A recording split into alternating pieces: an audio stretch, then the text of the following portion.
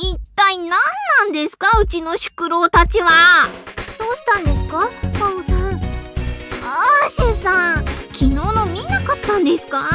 あれで繊維発用できます？でもサイ様とスイレイ様はあれでもいいような気もしますよ。ダメです。まあもっともパオが心配しているのはそこじゃないんですがねああいうことをされては皇族の我々が普通のことをしても埋もれてしまうじゃないですか。これは由々しき問題です。というわけで今作が初登場となるパオはともかくパオの先輩にあたるアーシェさんとミンメイさんは今回でイメチェンをしてはどうですか？イメチェン？さんはメガネを外してコンタクトにするとか？いやいやいやそれはまずいですよ。怒られちゃいますいろいろと。むしろこのメガネが私の一番の特徴じゃないですか。それにこの時代にコンタクトってさすがにおかしくないですか？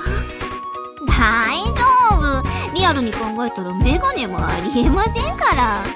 それは、うん、そうなんですけど今更ですし。とにかくメガネを外すのはダメです。うーん。意外にポリシーをお持ちなんですね。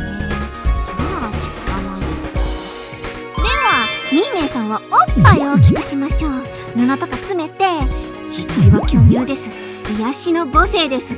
バブミです。そのサイズはパオとキャラかぶってますし多分パオさんよりちっちゃいと思うのですが。第一それで大きくしてもても虚しいですよ。どうしましたか？アーシェ。ミンメ。イ登場するたびにちょっとずつ大きくなってません？な、なってませんよ。なってないですよね。パオ初登場なんでそういうのわかんないです。って。あこのままでは宣伝すらできずに終わってしまいます。さあちゃんとやっておきますよ新恋姫無双革命。孫悟の血脈。発売まであと4日です。でミミさん本当のところどうなんです？